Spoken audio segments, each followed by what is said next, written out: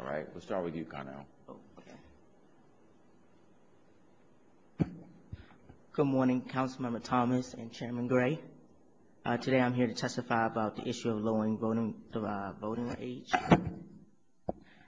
As you know, I'm a big youth advocate and I also run the U.S. Youth Chamber of Commerce, so I'm also a big youth business advocate.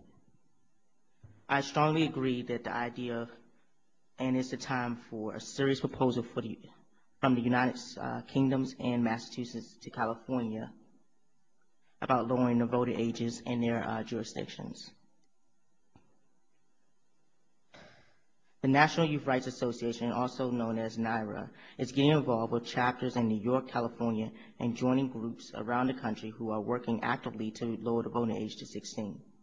This, this is one simple step of, that can, sorry, sorry, that can greatly improve the voting age turnout, increase in elections, increasing government responsibility and reinvigorating our democracy in state after state around the world are allowing young people to vote in elections and have uh, substantial positive effects. In order to give this proposal full time to demonstrate its numerous benefits, the, the voting age, I mean the voting age in D.C., District of Columbia, should be lowered to 16 for all elections for two years. I mean, for the next two election cycles until 2014. Further, lowering the voting age to 16 will increase in political, I mean, politics among both adults and young adults. It would help bring empathy um, empathetic adults back to the polls. Studies show that young people and their parents who participate in a national mock election bring enthusiasm for, politi- for politics back to their parents who vote in higher numbers. This trickle up effect has its greatest impact among parents from low socio- socioeconomic backgrounds. This is especially important in the District of Columbia which has a high number of low-income families. Young people who greatly benefit from a lower voting age by becoming more politically active and knowledgeable in the United States. The Kids Voting Program has brought millions of young people to the polls, increasing their empathy for voting and knowledge of the world around them. The impact was mostly strong felt among young people from low uh, income backgrounds. Young people who become more active in their uh, and blind votes, I mean, than blindly voting for candidates. Teens voting would uh, lead to a long-term electoral process who did let young people vote, encourage turnout among their parents. A study by Stephen, a Stanford University professor, found that increased political discussion between parents and children were major, a major factor in increasing voting turnout. The 26th Amendment prohibits discrimination of the bias of age once a citizen has reached the age of 18. It does not prohibit a state from setting a lower voting age if it chooses to. While the District of Columbia is a federal capital of the United States and is also a city which, with its own laws and regulations, as a District Columbia, as you know, is a hybrid between a state and a federal and a federal jurisdiction. The process by which laws are passed is unique among the American uh, judicial system here. The general clause, which allows the City Council to pass, as you know, is found in D.C. Code Section 1-204 from 1995, which gives the right of the City Council to pass laws which are approved later by a, a committee in the United States Congress. Act, an act is subject to all uh, restriction limitation imposed on the states by the 10th section of the first article of the Constitution of the United States. Young people have a strong interest in politics, generally despite the controversial wisdom. Once a young person example of this can be found throughout articles and videos of the latest presidential election. Many young people came out in numbers to state their opinions on not only in two presidential candidates, but on the state and of their state and their country and international affairs.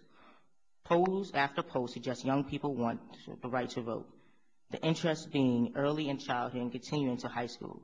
In 1992, a, ch- a, child amusement park in Philadelphia area conducted a survey with young people ages 8 to 12 it found that 89% wanted the right to vote. Among teens, this increased in voting uh, a 1991 poll at a mock election in, Minneapolis, Minnesota found that 73% of teens between the ages of 12 to 17 supported a voting age of 16. Overall, young people are ready and willing to vote if they're given a chance. And for a city that is a strong advocate about voting rights for itself, can't, should support showing the younger citizens they're giving them the right to vote because later on they're going to be decision makers, they're going to be the leaders and the CEOs of companies that will be able in the position of power to help our city become even greater than it is today. Thank you. Thank you very much, Connell. Connell, you recommended that we lower the voting age to what, 16? Yes. Do you think youth can responsibly handle that? I do. Okay. Uh, wh why do you think they wouldn't be unduly influenced by others who would want them to vote in a particular way? Well, as I, we, as I, we've seen some instances recently where, you know, even with the voting age, you know, being 18, and if you if you're going to turn 18 by the time the uh, election takes place, you know, if you're 17, you know, we've seen people being allegedly, I'll put it that way, allegedly. I've seen some of it, but I'll say allegedly, being paid uh, to vote in straw polls and that kind of thing. How do we avoid uh, how do we avoid abuse recognizing that when you're 16 or 17 years old, you are really still quite impressionable uh, and potentially vulnerable to the influence of others. Well, one one solution to that is before, if it was lowered to 16, before they're 16, is actually put them through mock elections in their schools. so you know how various agencies in D.C. and to have youth representation in the city, actually let them vote in those young youth representatives so they know how the political system is so they can start developing, you know, their minds to be more civically engaged and know the right person to vote for because there's adults who, as you just state, the same thing happens to them. People try to prey on them because they may not be as politically savvy or politically aware of what's happening. Um, because I've seen that firsthand when I was in Ohio on the Obama campaign, that there were adults over there in Mahoning County, is a very uh, poor county that they were taken advantage of because they didn't know a lot about the political system. And that's one of the things I believe in D.C. schools and our city should do is educate young people more on the issues in the city, letting them be, have more involvement in government, let them uh, improve D.C. government. Because when I took D.C. government class when I was young, it was very brief. I, I had to get active in the council after I got involved in council office as an intern. That's when I really started learning about how the city uh, was run. And when I, by the time I was 17, I knew a lot about politics. Before then, a year before then, I didn't know anything. And that's why we, the government and uh, other organizations such as schools have take involvement in teaching kids, you know, how to be, make their mind up, how to uh, tell the politician, you know, give you the runaround and things like that. Is that what politicians do? what, what, do you think more we can do? Um, you know, we've we've got a, a, a, council intern program here now, which is designed to open the door to young people. We do these hearings every month, as you probably heard earlier. This is our 30th monthly hearing, uh, which is, I guess, equivalent to about two and a half years, right, of having youth hearings. What do you think more we can do to get young people engaged in the civic and political life uh, of the city and be knowledgeable about it along the way?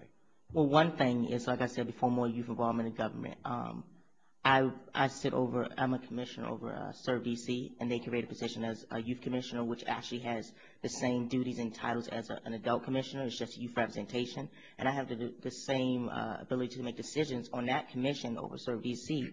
And if we get more positions in the government, like the youth advisory councils, um, your internship program, and having like youth city council members and things like that, and on the school board, the youth representatives, actually letting young people. Uh, get in a position that they're elected by their peers, they go out, educate them, and actually be in a position of making decisions, they're going to become critical thinkers. They're going to become people, they're going to want to make the right decision because they're going to be held accountable by their peers. And as you know, your peers will hold you accountable as a politician.